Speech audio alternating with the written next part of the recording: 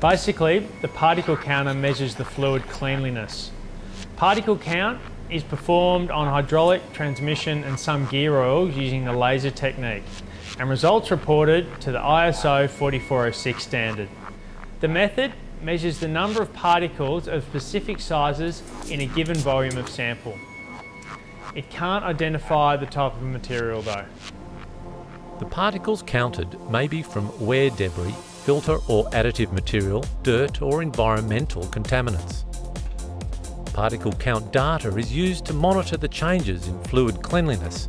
Changes also indicate the performance and effectiveness of oil filtration.